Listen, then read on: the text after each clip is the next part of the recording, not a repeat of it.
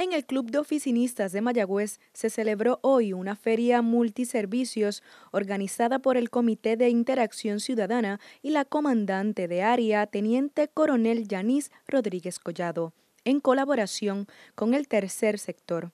En el evento se contó con la presencia de alrededor de 51 mesas entre informativas, charlas y clínicas de salud ofreciendo una amplia gama de servicios a la comunidad. Nuestros roles, cómo integramos la ciudadanía con la policía y hoy en esta feria multiservicio lo que estamos buscando es brindarle a la ciudadanía un sinnúmero de servicios, entre ellos charlas educativas, clínicas de salud y mesas informativas para poder mantener esa relación que necesitamos tener entre el negociador de la Policía de Puerto Rico y las comunidades. Estamos trabajando en alianza con otras organizaciones también, otros eventos, por ejemplo, apoyamos el 3K de la Sociedad Americana contra el Cáncer, Vamos a estar en otras actividades en diferentes pueblos también apoyando las iniciativas en beneficio de, de las iniciativas que se tienen contra el cáncer de seno específicamente. Por su parte, un ciudadano expresó su agradecimiento por participar en el evento y exhortó al municipio y a las diferentes organizaciones a ser más comunicativos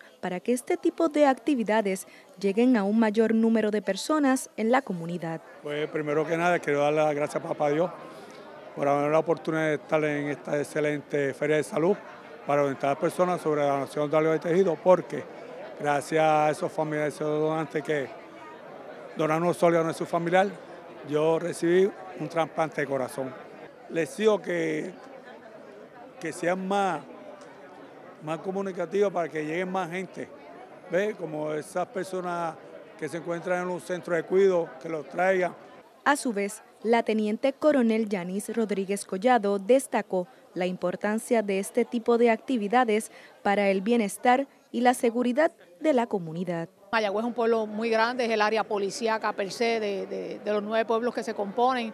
Eh, para nosotros es importante que ellos estén con nosotros. Es importante, aquí vienen muchas personas de la tercera edad donde se atienden, donde alguna persona a lo no sabe que tengo la azúcar alta y aquí llega, ¿verdad? Ha habido compañeros y le sale y empieza entonces a tratarse con su médico. Es muy importante que vengan y para nosotros es muy importante poder atender a esta ciudadanía.